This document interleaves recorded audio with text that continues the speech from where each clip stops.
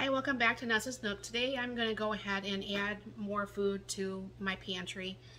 What's going to happen is these are going to end up being freeze-dried once my freeze dryer stops acting stupid. And um, this is going to be part of the Every Little Bit Challenge, Every Bit Matters Challenge. And um, I was gifted uh, a total of six. I did these the other day in the chopper, but I didn't want to set them out on the freezer trays yet because I knew most likely my sister over at City Girl Homestead was going to give me more. So if you look down here, I've got three more bunches of celery and I have uh, four peppers. And I'll clean the machine and be, well, I'm not clean the machine. I'll do the celery first and then I'll go ahead and chop these peppers up and get those on trays to go in the freeze dryer here. So I like smaller vegetables. And um, I don't know for sure if you can see this very well. This is my seven quart Insta or Instapot seven quart KitchenAid stand mixer.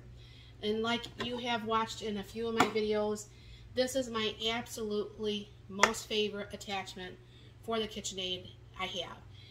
It gives you the really small, if you've not already watched some of them, it gives you the really small bits of uh, vegetables. Now, I'm going to be doing some cucumber. I'm going to be canning some tomatoes today too, and all that's going to be part of this video.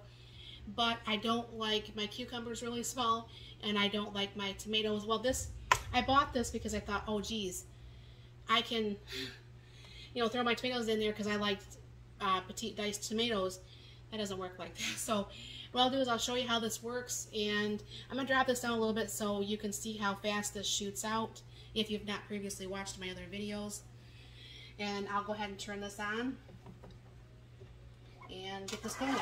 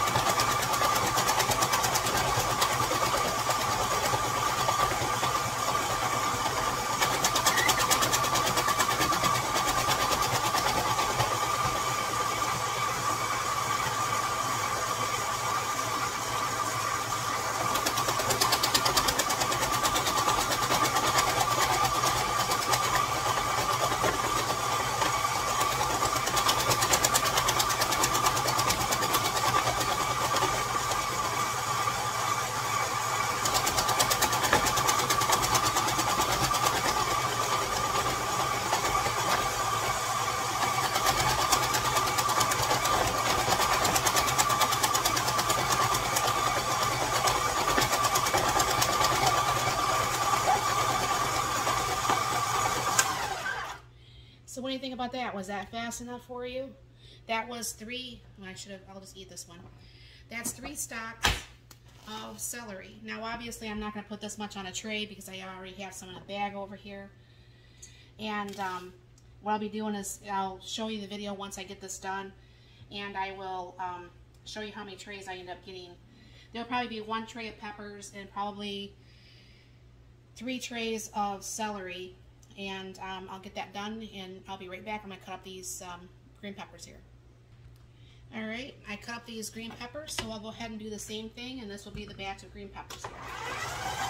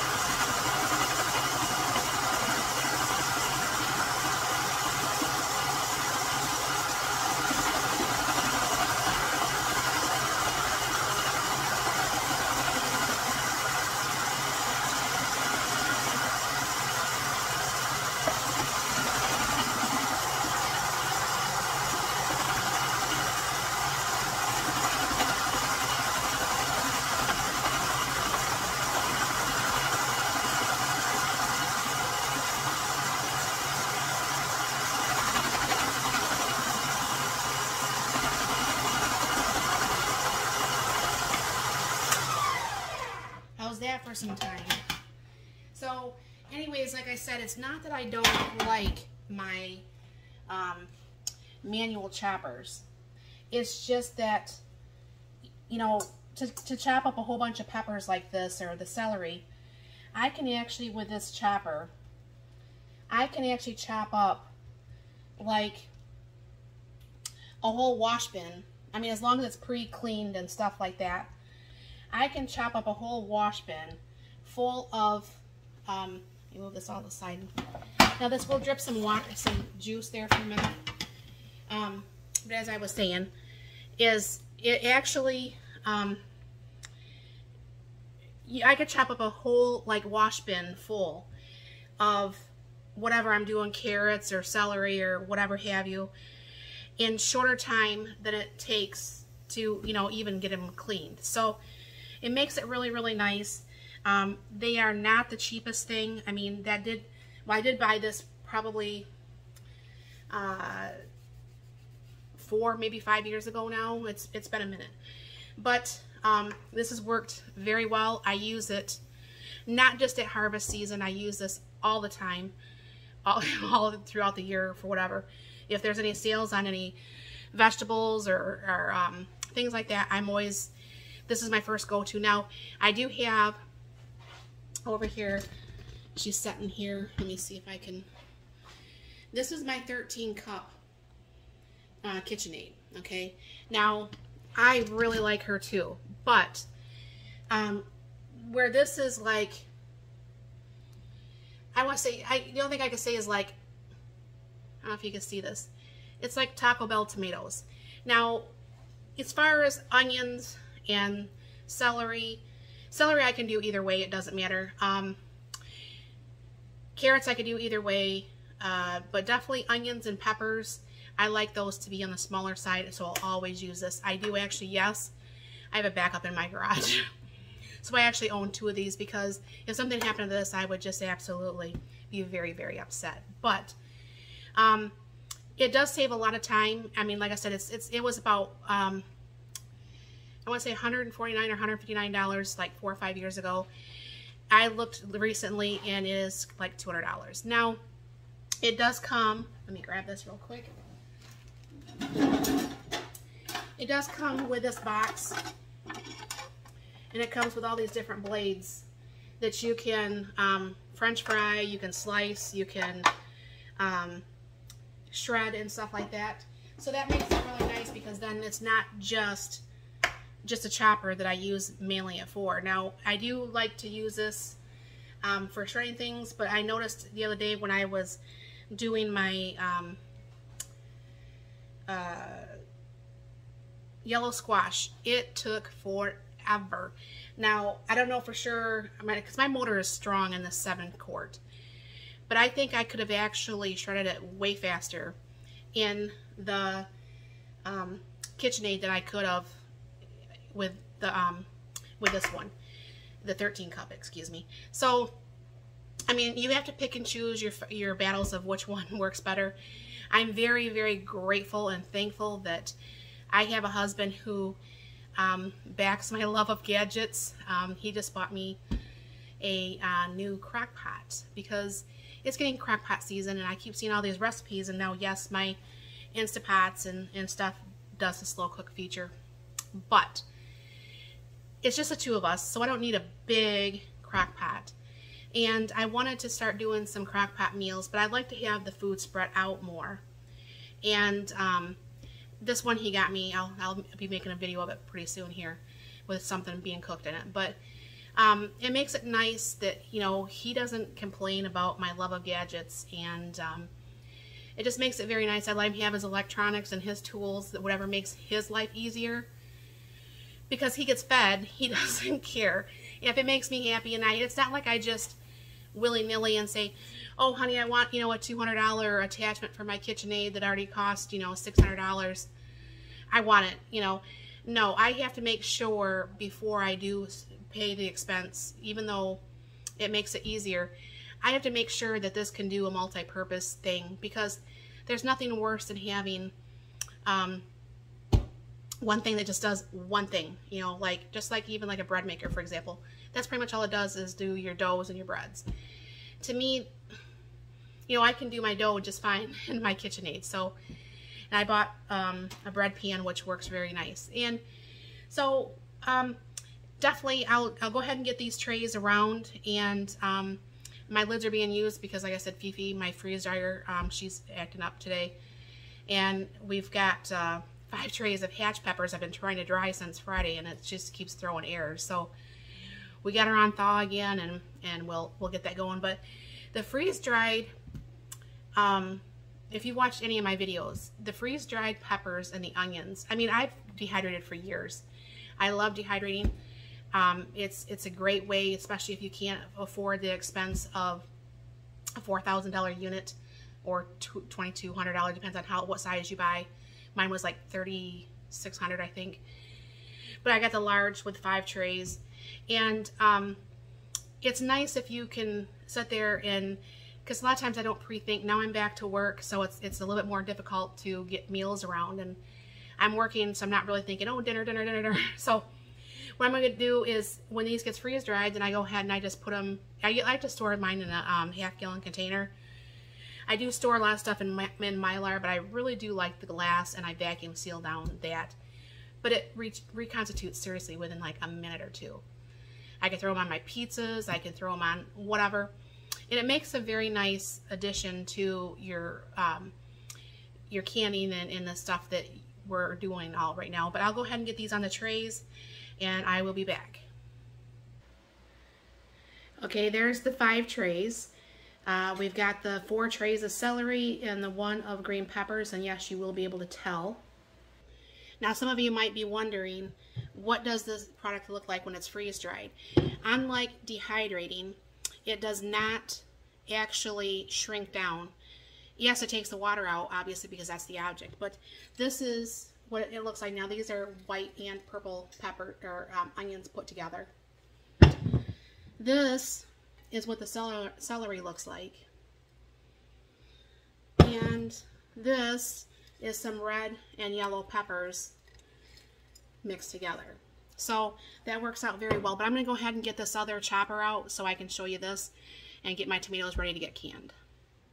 Now I do have quite the mess going on today, but I'm going to just show you a little bit and then I'll bring you back um, when I'm actually ready to do this. So a lot of people in this day and age right now, um, because of everything that's going on in the world, and a lot of people is like, you really, really need to seed save.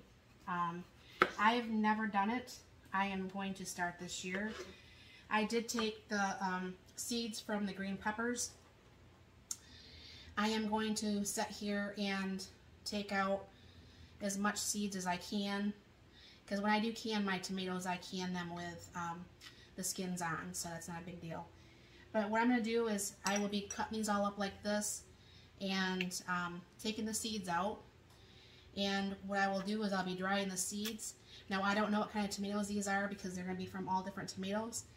But I don't think it's going to matter when um, when things get rough and a tomato is going to be a tomato. You're not going to be that picky. So I'll go ahead and get these cut up and I will come back and show you uh, what I'm going to do as far as getting these all canned up and get them ready for the shelf.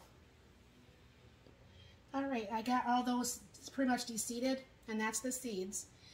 And then I got this for my compost bin. But what I'm going to do is I'm going to go ahead and start. I, this should be enough for, it's going to be enough for at least two pints. And what I'm just going to do is get out my Instapot Max. And because it's just not enough for, um, to get out my water, my, my steam canner or anything. So what I'm going to do is I have the one cap full of, of uh, lemon juice in there, and you have to use store-bought lemon juice, I guess, because the lemons are not um, like they used to be. So what I'm going to just do is I'm just go ahead and, I was going to get my other chopper, but this one I already chopped my cucumbers and stuff up for lunch, so I just rinse that out, and that's what I'll be using. That's what I'm saying as far as that chopper with the, with the KitchenAid it is so much faster, and I was really, really hoping that it actually did the tomatoes because I, I, was like really excited and I put my first tomato through there and I'm like, oh, epic fail. So I'm to dump this here and just let me get this last one on here. Let me get my funnel. Sometimes you think you're prepared and you're just so ill prepared. So you just take the lid off this and take that off. And what you're just going to do is go ahead and dump that in your jar. And I'm going to still debubble it and everything like that. And yes, it's too full. I understand that, but I don't have my spoon out. I'll take care of that shortly. And then you just have to just put this back together and chop more. Now I do have one that's actually a little bit bigger. And that's what I use when I have bigger batches. But I figure I would do some seed saving off this batch because this batch here is very small and seed saving is very, very, very time consuming. And um, if you're ever wondering, I haven't done it previous, like I said, I've not done it in previous years. I've really never even did a really great job of um, growing tomatoes. My intentions were well this year. I came home from the hospital in March. I'm like, oh great, you know, I can, you know, start my tomatoes and stuff. And I don't know for sure if my heart just wasn't in, in it yet or I don't know what the deal was, but my tomatoes, they, they just become long and lanky and I just have to do a little bit more research, you know, get with people that know more what they're doing because I really don't like buying tomatoes from a greenhouse. I just, I really don't. I prefer to have my own because there's nothing like canning your own stuff. And you grew that seed and you did all that stuff. So let me get this in this other jars and I'll be right back. All right, now I got the three going here. And I'm going to go ahead and debubble. And these might be a little bit under. A lot under. Um, maybe I'll just take that one and only just do the two. And then just save those tomatoes for my salads this week. Unless I cut up that other tomato that's not quite ready. Why don't I do that? I'll cut up that other tomato that's not quite ready, and then that way I do have the three pints. I'll be right back. Alright, and I did that other tomato, so that makes it a nice one inch head space. I mean, I'm sure it could have been a little bit um, more in each jar, but it will be fine. So then what you're going to do is go ahead and wipe your rims. And what you're feeling for is any nicks or anything like that. So your jars will actually seal because there's nothing worse than spending all your hard time doing this if your stuff doesn't seal. So I don't warm up my lids. Um, and I'll go ahead and get these on just fingertip tight. And in a minute I'll go get my canner because I have to make room here on my on my island. And then I just usually like to shake it a little bit, make sure maybe some of the stuff is out. I don't know if that's really the right way to do it, but sometimes I do, sometimes I don't. I'm going to go ahead and clean up that uh, chopper and I'll get my cucumbers done. Alright, now I'm going to do the same with my cucumbers. Now usually I would like to pull out my 13 cup because you're just like, you throw pretty much half the cucumber and zip, and it's down. But I've already got so much stuff I'm doing today. Sunday is usually our very, very busy day. Um, laundry, yard, you know, canning, cooking, whatever. And I don't know for sure if I put on there or not, if I told you guys. But the seed saving, um, I was following Chelsea over at our Urban Homestead. And she's explained that very well. And this way, maybe you can learn more from her because she's actually done it longer than I have. And um, what I'm going to do with some of these cucumbers, well, some of them's going to become my cucumbers for my salad for lunch this week. But I am going to freeze some on a tray. And what I'm going to do is put that in the freeze dryer. Because if that does work, well, during cucumber season, because things are only just getting more expensive, that I am going to actually freeze dry some because they should be nice and crunchy on my salad, which I think would taste really good. I mean, obviously, I'd have to have my husband taste it once it got out of the out of the freeze dryer, but um, I think that would be a nice thing to see if, or you know, I could put it in my water and drink it, or whatever if, it, if it's successful. So I'll go ahead and I'll put these for my salads this week, and then these will actually go on a tray. And um, I'll bring you back once I'm actually getting these in the canner. Alright, that's what I thought. it is like 25 minutes, so I go ahead, I'm to go ahead and put these in. This now, this is the Instapot Max, where you can actually pressure can. And I didn't want to get out my steam canner and have to warm up my tomatoes and all that. I just, that's just too much for me to do. So I'm going to go ahead and hit the canning button. I'm going to go down to 25 minutes. I don't want any venting and I don't want to keep it warm. So I go ahead and I just hit start. And then what's going to happen is the pin's going to come up. It's going to go like a normal one would. And then um, you'll process for the 25 minutes. And then once this cools down, I'll bring this back and we can go ahead and end this video. All right, this is done and the pin is down, so I will bring you over to the Instapot. I have a towel laid out.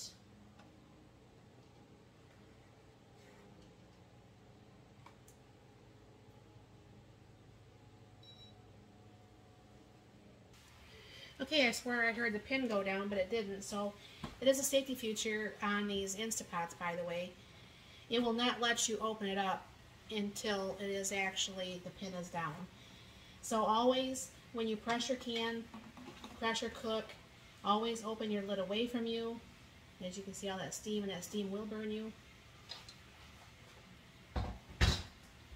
And go ahead and pull out. Obviously, like I said, these weren't all the way full. Once these cool, when I wash them off, I'll shake these down. It's not going to be perfect, but like I said, I knew I didn't have enough to get through this anyway. So that's this video on this. Um, thank you very much for stopping by. If you liked what you see, please like, share, subscribe. And um, I'm always trying to put out new videos on different stuff all the time. And I really do appreciate you guys stopping by and um, watching my videos. It really does mean a lot. And if there is anything that you want to see me um, cook or can or freeze dry or uh, whatever, please let me know. I mean, I'm always up for trying new things. Um, it's all good. So definitely thank you, and you guys have a very blessed and wonderful Sunday.